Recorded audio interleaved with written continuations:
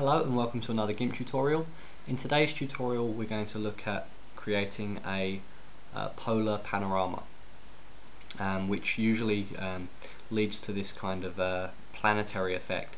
Um, the best way of making this kind of image you usually, as the name suggests, would use a, a panorama image um, but you don't have to use a panorama image and there's a couple of um, ways that you can play with this where you don't necessarily need to use a panorama um, but I just want to show the uh, the method today. So you can see the kind of image that I've got here.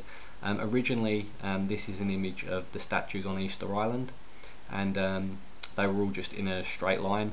And you can see what GIMP does is it actually just um, turns them into uh, a circular image. It just kind of folds them around this uh, this focus point in the center.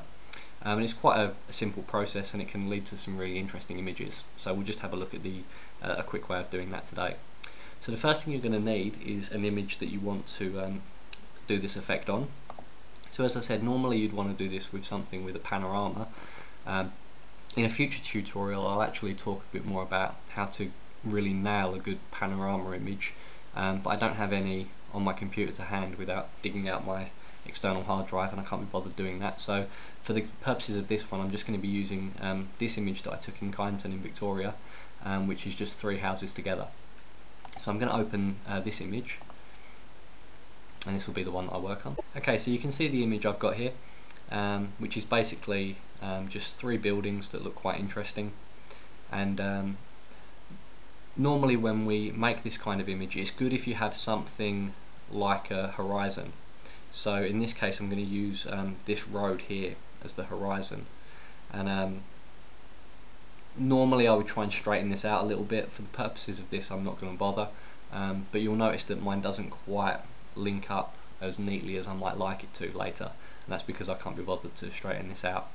Um, but I'll, I might explain how to do that if I've got time towards the end.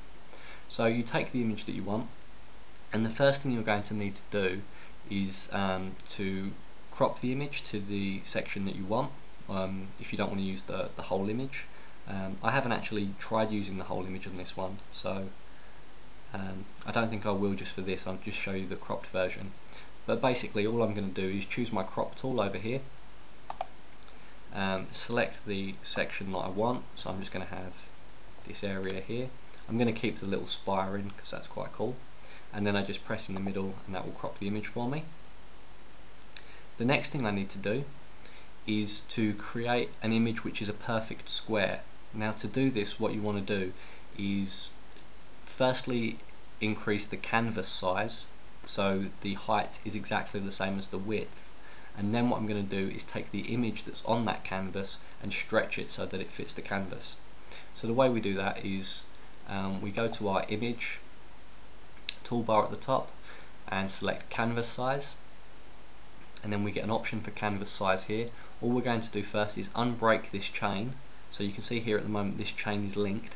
If yours already looks like that broken then you can ignore this step but you want this chain to be uh, broken or unlinked. And then we're just going to type in the same value for the width as we've already got for the height. So in this case 3856 and then we just press resize and then resize again. And you can see that what that's done in this case is created um, this transparent space underneath the image. All I'm going to do now is go to layer and uh, transform. And nope sorry not transform. Scale layer my mistake. So layer and scale layer. And then we're just going to do the same thing again. So we're going to unlink this chain and type in the height being the same as the width. So in this case 3856 okay for some reason mine hasn't stretched properly so I'm just going to um, check what's wrong with that. So there is a possibility that that needs to be moved.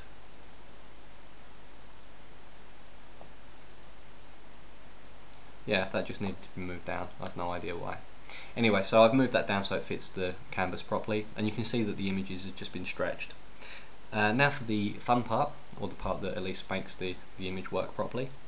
Uh, we go to filters and distorts and we're going to pick the polar coordinates option from this menu. So when we click on polar coordinates um, you can see mine has already created um, the kind of final looking image up here in the preview window. When you first open this up, you might find that it looks more like this because it says map from the top. Um, really this just decides on whether you want the center of the image to be the bottom part of the image or the top part of the image. So when it says map from top, obviously anything in the middle is going to correlate to what you have in the top of your image, so in this case the sky. Um, I want the buildings to be the center of the image, so um, I just uncheck map from top, so it maps from the bottom, and you can see that the sky then becomes the outer section of this planet, uh, and the inside is made up of the things that are on the lower portion of the image. Um, you can also map backwards, which just flips the way that it gets mapped, but that really has a minimal effect. Um, so then we can just uh, press OK, and this will take a few seconds. And there we have it, a, um, a polar coordinate um, panorama or a polar panorama. Um, it's a really easy technique. Um, there's a couple of extra little edits you can do to this just to make it work better. Um, firstly, you can see that there's this joining line here. Now that joining line is here because this isn't a perfect panorama.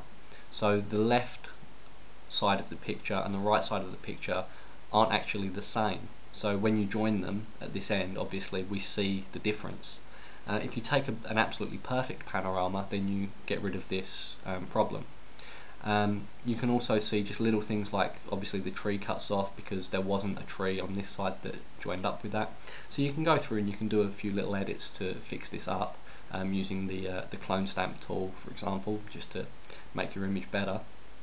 Um, another trick you can use and in fact one that you'll see um, I might have done with um, this version um, if originally you cut out the background of your image um, so in this case, with this image that I used, if I had cut around the houses um, and made the background, instead of having the sky as a background, if I just had a transparent layer as the background, then obviously that wouldn't have existed on here. And then you're free to drop any background you want in uh, behind that. So with this image of the Easter Island um, figures, um, I put my own kind of galaxy in a light shade of blue behind them um, instead of the skyline, which overcomes any of those problems with um, bad joins. Um, the only thing you can really notice here is this little join, but that's nowhere near as noticeable as the join uh, on this image, which is obviously much more pronounced.